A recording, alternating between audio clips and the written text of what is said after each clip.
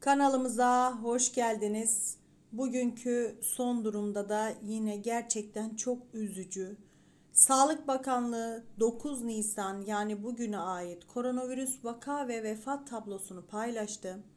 Son dakika haberine göre Sağlık Bakanlığı 9 Nisan 2021 koronavirüs vaka ve vefat sayılarının yer aldığı son COVID-19 tablomuz şu şekilde maalesef diyorum vaka ve vefat sayılarının yer aldığı durumumuz 305.103 test yapıldı.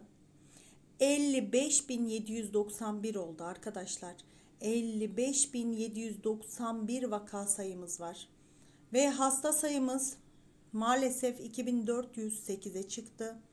Vefat sayımız 253 olarak belirlendi ve iyileşen sayımız da 35.786 yani bugün 305.000 305.103 test yapıldı ve maalesef dün 55.941 imiş.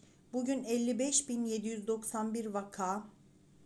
7 Nisan'da 54.740 ee, dediğimiz gibi vaka sayıları gerçekten çok çok yükseliyor. Umuyoruz ki bir an önce bu dertten kurtulur, ferah kavuşuruz diyoruz. Herkese sağlıklı günler diliyoruz. Lütfen kendimize dikkat edelim. Sosyal mesafemizi koruyalım. Çok çok dikkat. Annemiz, babamız, çocuklarımız hepsine geçebilir. Allah korusun diyoruz. Lütfen çok dikkat saygılarımızla.